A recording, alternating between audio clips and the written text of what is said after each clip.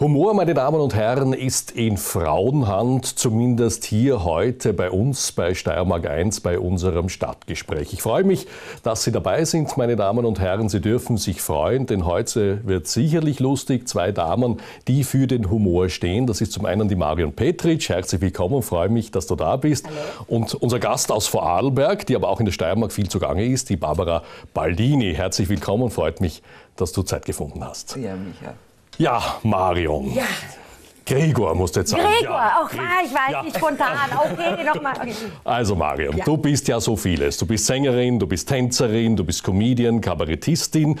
Äh, war das irgendwie eine Notwendigkeit der Marion Petritsch, diese Laufbahn einzuschlagen oder anders gefragt, hat sie auch was Anständiges gelernt? Hat sie nicht. Hat sie nicht. Es ist einfach mein Auftrag mit Humor, daher werde ich ja diesem Thema hier super gerecht, einfach auf die Menschen zuzugehen mhm. oder einfach in Form einer humoristischen Verpackung Information, die auch durchgehend äh, tiefgründig sein darf, auf die Menschen zugelassen zu werden. Das mit heißt, viel Musik und mit dem Klang, der das Das heißt, du gehörst auch in jene Kategorie, die eine Botschaft haben, ja. die du dann aber verpackst in deinen Humor. Ja, jetzt nicht primär, das ergibt sich einfach bei Doing oder beim Kreieren von Texten oder Musikstücken. Es ist immer etwas dabei, das eine Basis haben muss, damit du da aufbauen kannst, um lustig zu sein. Also wir werden ja noch über deine Programme ja. und über dein laufendes Programm reden, aber was sind das für Botschaften? Gibt es irgendetwas, wo du sagst, da muss ich äh, meinen Finger reindrücken oder ist es einfach so Tagessituationen im Leben, die du kommentierst auf deine Art und Weise?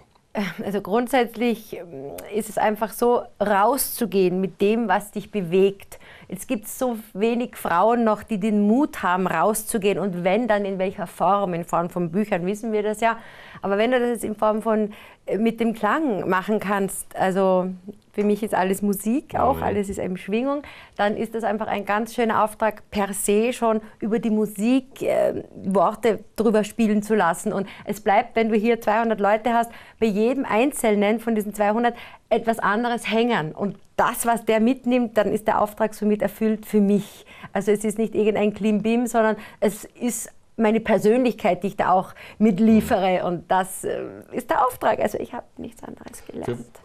Ist ja keine Schande, Marius. Du machst ja, machst ja tolle Sachen. Vor allem bekannt natürlich, und was, für was du auch stehst, sind natürlich deine Stimmenimitationen. Ja. Eine ganz tolle Geschichte. Mit den Jungs von Ö3 warst du ja, ja lange zugange.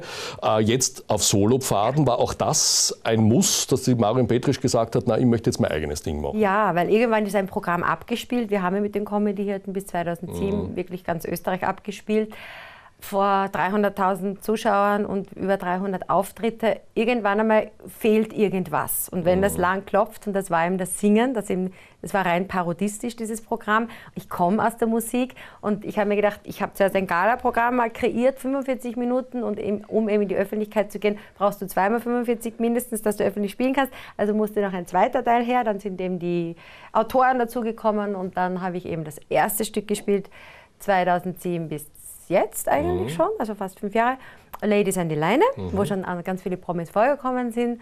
Äh, und jetzt äh, eben war die Premiere vor 14 Tagen mit der Froschkönigin und das ist jetzt mein zweites Solo. Über das reden wir noch gesondert, ja. aber eins möchte ich vielleicht noch klären zu Beginn, die Sache mit der Stimmenimitation. Ja. Wie leicht, wie schwer ist das?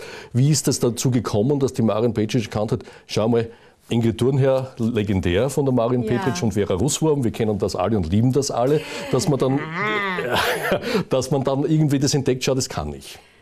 Das kommt schon seit von frühester Kindheit, wenn du beginnst, Dinge nachzuerzählen und die dann in die direkte Rede verpackst und dann auch diese ähm, Stimm, äh, die, die Stimme und auch die Auffälligkeiten der Sprache dieser Person mit darin verpackst und damit Applaus erntest, merkst du, dass du da irgendwas Besonderes machst. Für mich war das ganz normal, das so zu erzählen, wie diese Tante das eben gerade erzählt hat mit ihren Auffälligkeiten. So ist das dann über die ganze Schulzeit gegangen und Lehrer parodiert und Direktor parodiert. Also richtig klassisch. Ja, also es gibt schon welche, die nicht leicht gehen. Also das fühle ich sofort. Entweder es geht sofort, mhm. sonst lasse ich es. Also ich bin auch faul. Also ich, was leicht geht, ich bin so ein Kind des geringsten Widerstandes. Ja, auch das. Obwohl ehrgeizig, aber das ist, es ist alles. No, no, no. Aber es ist, es, ist, es ist alles leicht. Es sind einfach unsere Gedanken, wo wir uns einbilden, das ist schwer. Wenn ich mit diesem Glaubenssatz hier hinstreue, wird es natürlich genauso geliefert, weil ich ja stets Schöpfer meiner Gedanken bin. Das nur nebenbei. Dankeschön. Wunderschön gesagt. Barbara Baldini, ich freue mich, dass sie Zeit hat, dass sie jetzt, sie ist ja jetzt in Steiermark unterwegs, äh, gerade mit ihrem Programm. Wir haben ein bisschen was gehört, wie die Marion Petritsch tickt, wie so ihr Zugang zu ihrem Thema und zum Thema Humor ist. Wie schaut es denn da im Ländle aus? Für uns in der Steiermark doch fern. Äh, Vorarlberg, über was lacht man denn in Vorarlberg? Ja, über dasselbe wie in der Steiermark. Tatsächlich? Ja, auf jeden Fall. Wir sind Österreicher. Aber was ich da dazu sagen will, ich finde es super, dass sie singt. Meine Kinder haben gesagt, Mami, du darfst alles machen, du kannst die ausziehen auf der Bühne. Aber bitte nicht singen. Weil? Na, ich kann nicht singen. Wer sagt Gern's das? mir leid. Und das weiß ich. Gregor, bitte verlang jetzt keine Stichprobe. Na, finde ich ganz toll. Also wenn man singen kann, finde ich genial. Zu meiner Geschichte, das war ja ein reiner Zufall. Ich habe ja in Wirklichkeit eine Praxis für Sexualfragen und Sexualstörungen. Ich habe ein Tantra-Institut dabei und ein Aber hallo. Berührungsinstitut für Menschen mit Behinderung und für Menschen im Altersheim. Und bin ja zusätzlich auch noch Buddhistin. Also ich schaue ja immer, dass ich das, was ich mache, zum Wohle der Wesen mache. Und dann wollte ich natürlich einen ordentlichen Fachvortrag schreiben zum Thema Sex und Partnerschaft. Und Nämlich in, in, ganz ernsthaft. Radlberg, ja, ganz ernsthaft. Mhm. Und da nach dem dritten Mal, äh, da habe ich dann nur selber die Plakate aufgehängt, sagt der Frau zu mir, ah, ich habe gehört vom Kabarett. Und da war ich natürlich ganz geschockt, weil ich habe mir gedacht, um Gottes Willen, das ist kein Kabarett. Aber es ist natürlich ein fröhlicher Fachvortrag. Das heißt, das ist dir passiert, dass du Das in die ist Kabarett-Schiene mir passiert, ja. Und dann kamen meine Kinder dazu, die durften das ja lange nicht sehen, ja. Und die sind ja schon groß. Und die haben mich dann auf der Bühne gesehen, haben gesagt, Muttertier, so brav haben wir die aber noch nie gesehen. Mami, Mami, was ist los mit dir? Lass die Sau lässt's, ja. raus. Ja. Mutter haben sie gesagt, nix Oral, nix Porno, nix Sexspielzeug. Mami, was ist los mit dir zu Hause? Bist ja auch immer so frech, ja. Also, wir werden ja auch über dein Programm Sex muss ich ist ein großes Thema bei der Barbara Baldini. Ja, bei Apropos- jedem. Naja, aber, aber nicht auf der Bühne, weiß Gott, nicht auf der Bühne, Barbara. Barbara Baldinis Welt liest man ja. Was ist die Welt der Barbara Baldini? Ist es das oder ist es noch mehr? Na, natürlich ist es mehr. Also in erster Linie ist bei mir die Spiritualität. Das ist mir das Wichtigste. Ja? Dass natürlich Sex genauso wichtig ist wie Spiritualität. Das ist für mich dasselbe. Und ich habe mir ja, ich habe ja früher Kurse gemacht für arbeitslose Menschen und Manager. Was hast du denen beigebracht, sag mal? Ja, Persönlichkeitsentwicklung, Konfliktmanagement und solche Geschichten, Teamentwicklung. Und dann war ich schwanger bei meiner Nachzüglerin. Dann habe ich mir gedacht, an was kommt der Mensch nicht vorbei? Und es gibt nur zwei Themen. Das eine ist Sterben und das andere ist Sex. Und damals fiel das Monopol für die Bestattung. Und dann haben wir gedacht, ich mache ein Bestattungs-Event-Management. So weiße Limousinen, just buried mit Dosen hinten dran und so. Und dann haben wir gedacht, ich würde gern Bestattungs-Event-Marketing machen. Und dann haben wir gedacht, ah, aber Sex ist ja auch spannend, ja. Gut, und dann habe ich mich halt für Sex entschieden, was gut war, weil Da. das betrifft auch jeden. Das hören wir uns ja noch an. Ja, Aber wie gesagt, Barbara. Baldinis Welt ist eine große Welt, wie mir scheint, und mit vielen Ideen. blöd. Ah. Kommen wir zu den Programmen äh, der Marin Petrisch. Du hast ja schon gesagt, äh, Ladies an die Line ist ja höchst erfolgreich gelaufen. Jetzt gerade am Programm, das Ja. neue, die Froschkönigin, Ja. zweimal schon vor ausverkauftem Haus gespielt. Dritter Termin steht an, wollen wir gleich mal transportieren. Ist wann? Mittwoch, 28. November, 19.30 Uhr, Casineum Casino Graz. Haben wir das? Wunderbar, wunderbar, wunderbar.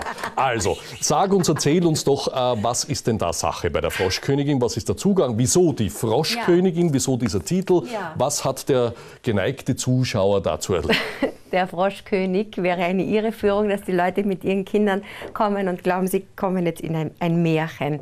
Ich wollte den weiblichen Titel einfach, um wieder diese Kraft der Weiblichkeit hier schon mal im Titel drinnen zu haben, dass wir alle Könige und Königinnen sind, vor allem jetzt in Tagen wie diesen auch diese Transformation aller weiblichen, in allen Ebenen Dinge raus, rauszuheben und einfach explizit auch darzustellen. Das ist jetzt weder, es ist einfach der Titel, es kommen natürlich die Promis, die wir alle kennen von Vera Russwurm. Also das ist ein zentrales Element, ja? Die, Ich äh, meine, ich frage so, ich habe sie schon gesehen, meine Damen ja, und Herren. ja. Es ist wunderbar, es ist wunderbar, aber ich lasse Ja. mir es gerne nochmal erzählen, weil ich habe vielleicht was nicht ja, verstanden. Promis im Märchenland. Also da ist einfach die, die Fiona Swarovski und steht einfach vom Zauberspiegel und sagt, Spieglein, Spieglein an der Wand, wer ist die Schönste im ganzen Land? Und dann kommt halt die Antwort, Karl-Heinz ist Ja, der. Schönste. Und solche Geschichten, äh, die kommen natürlich vor, weil das ist einfach etwas, was ich konkurrenzlos jetzt als Frau in Österreich kann und auch, auch stolz darauf bin, dass ich die alle auftreten lasse, weil sie einfach ihre verschiedenen Rollen dort mhm. haben.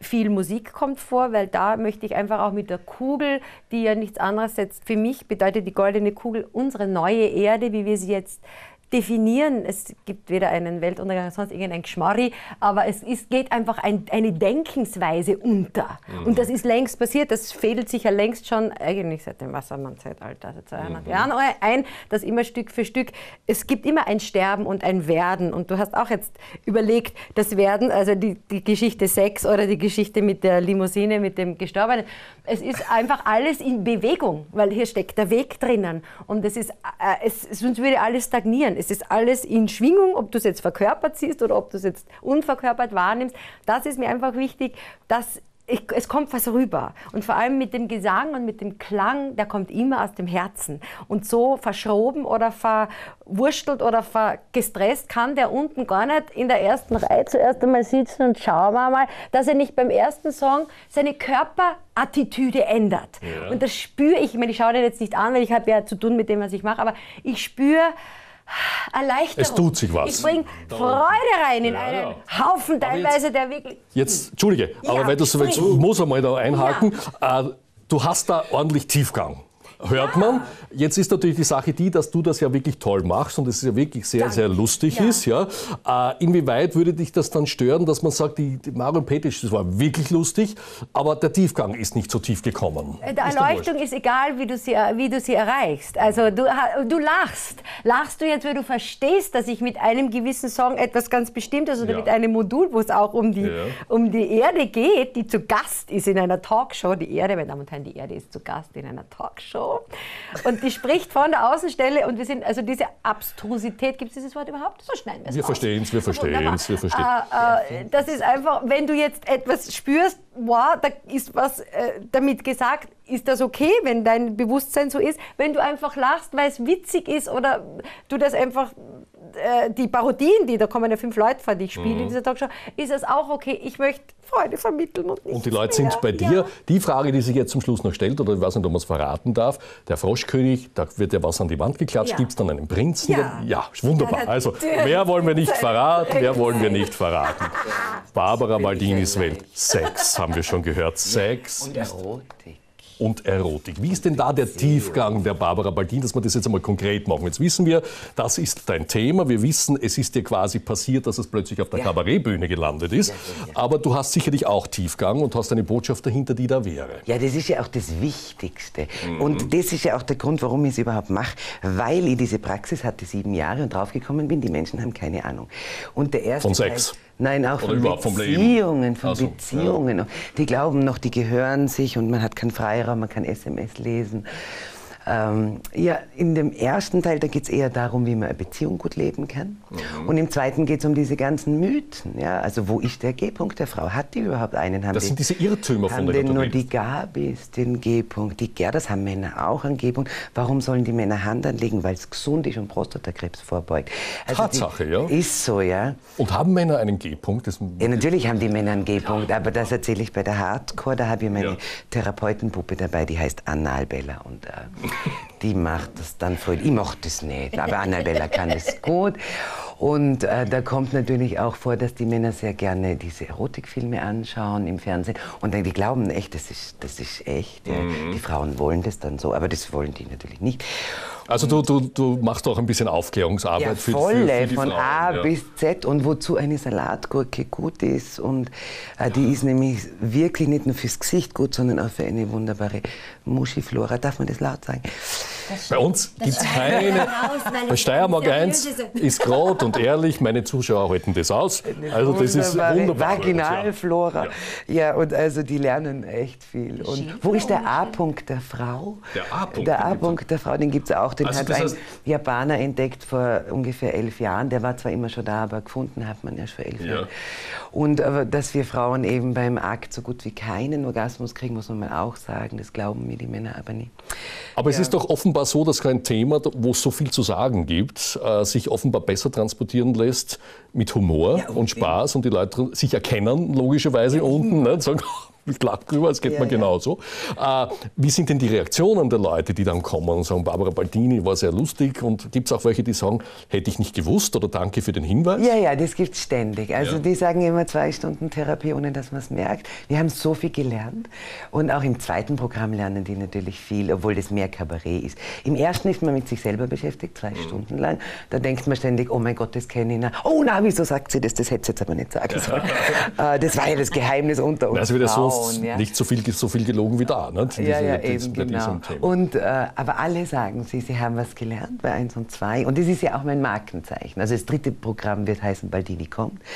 Und es steht natürlich für Sexaufklärung und Spaß. Also das ist Apropos. Spaß, wird auch, ist es tatsächlich so, dass gerade bei diesem Thema, das ja so oh, heikel ist, auch zu wenig gelacht wird in der Beziehung? Es ist immer so ein Ja. bisschen stressbehaftet. Nicht? Ja, das ist ein Punkt meiner sieben Beziehungspunkte. Habt einen Spaß miteinander, macht's richtig fetten Blödsinn. Woran erkennt man, dass eine Beziehung funktioniert oder nicht? Wenn die nicht mehr lachen, dann ist es vorbei. Mhm. Also die sollen einfach Spaß haben. Wenn dann sich, äh, sich unterhalten lassen von der Marion, wenn sie schon gemeinsam nichts zum Lachen haben, wenigstens irgendwo hingehen, wo sie lachen Ja, können ja. gemeinsam.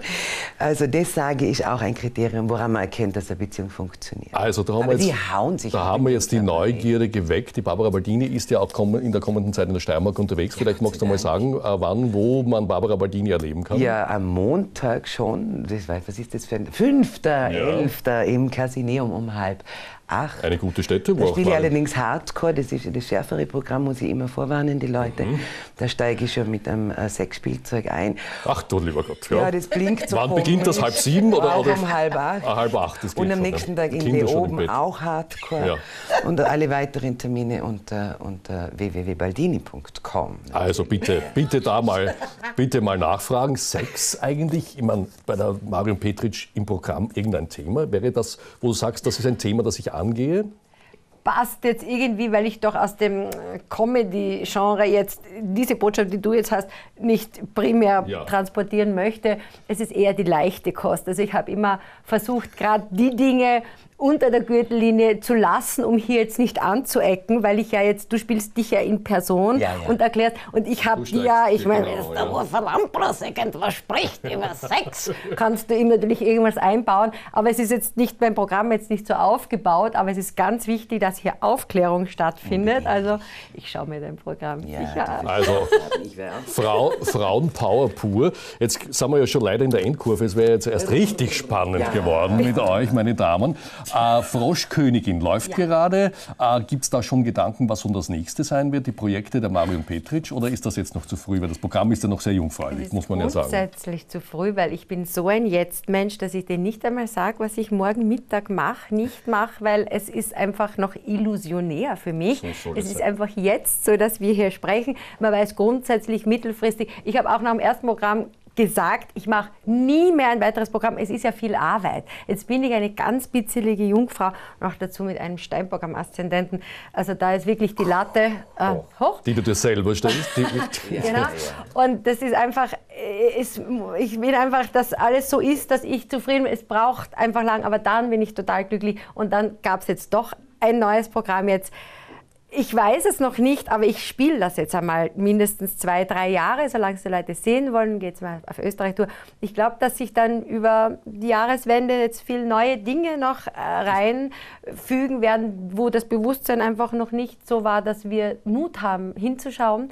Und dann gibt es sicher wieder viel zu verbreiten. Das heißt, das Programm der Marion Petritsch ist eigentlich ein dynamisches. Es zahlt sich aus, also in zwei Jahren sich nochmal anzuschauen. Da hat, sich schon, da hat sich sicherlich schon wieder Oh einiges ja, getan. ja, also die Aktualität soll schon auch beibehalten werden, weil du ja auch Dinge, die jetzt da jetzt passieren, ob das jetzt diese Heinzel-Sido-Watschen ist oder das musst einbauen. Oder als ich Premiere hatte, war gerade der Stratosprung und natürlich in meinem Modul der Erde muss der, das, Na, das, die Leute freuen sich auch, ja. wenn du da, wenn's, das ist einfach auch wichtig, Aktualität, es ist ja viel Zeitloses dabei, aber das ist einfach möglich auch, weil ich auch Schlagzeilen dabei habe und neue Meldungen und die kann man natürlich auch austauschen. Also wir sind gespannt. Toi, toi, toi. Weiterhin.